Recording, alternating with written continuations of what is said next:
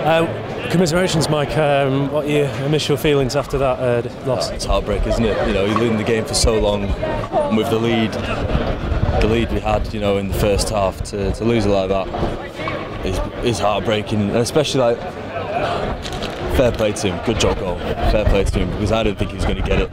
I thought, you know, we we got that game, and uh, obviously he's pulled that out of, out of absolutely nowhere and stolen the game from us. So yeah, absolutely heartbreak. He must take some encouraging signs, though. You know, that first half performance was outstanding. Oh yeah, massively. You know, going forward, you know, they, they couldn't stop us. We were breaking them left, right, and centre.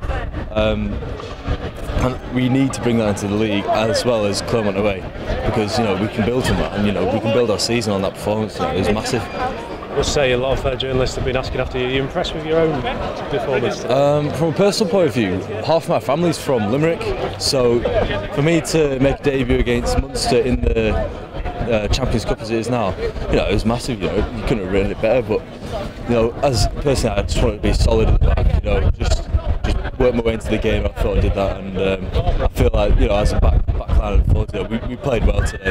You know, we just got pipped at the end. And Clermont next week, you know, are you looking to pick yourselves up from uh, the loss this week and get,